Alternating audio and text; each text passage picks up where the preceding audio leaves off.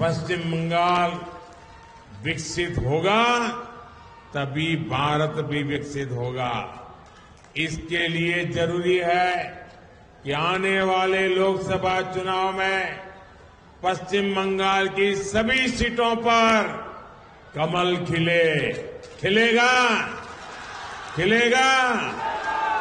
TMC को घमंड है कि उसके पास एक निश्चित वोट बैंक है।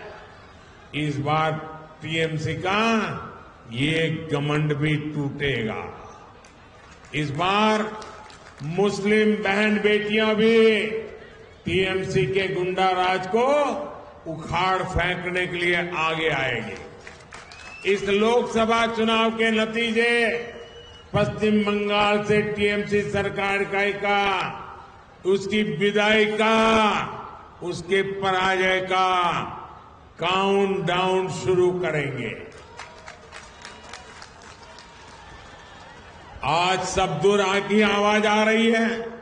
मैं अभी देख रहा था, शुभेंदु जी को, और हमारे अध्यक्ष जी बता रहे थे बार ऐ